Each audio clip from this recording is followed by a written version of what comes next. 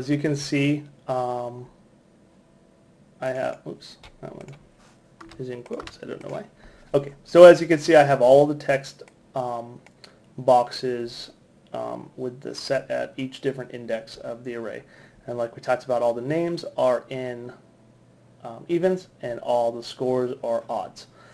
So, and remember, the SQL query pulled all this information in in order from highest score to lowest score of the top 10 scores. So this is basically just displaying that information as the way it was imported. Okay. And let's see. We want to add one more quick event that is another AJAX and onCompleted to post score. Remember we added that tag to the uh, post score AJAX event earlier. And in here, when that's completed, we want to set the value of each x to 0.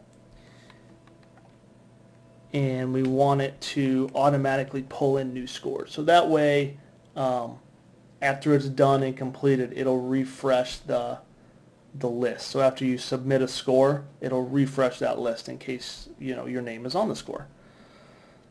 So we're going to do an AJAX and request URL and we're going to do that same one as before. We're going to tag it get score again. That way the onCompleted of get scores will activate or again and again it's this um, oops it's the get scores one okay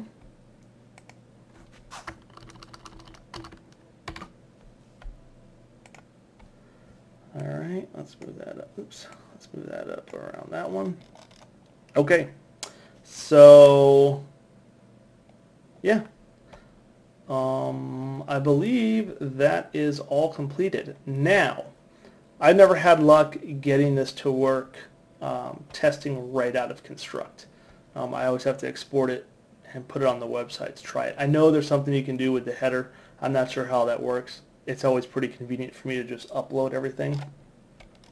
So, um, so yeah, I think this is all complete. I'm just going to run through it real quick um, and make sure we got everything.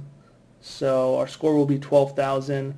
Uh, we'll put that, we'll click that, it'll enter into the database, it'll return, it'll refresh it.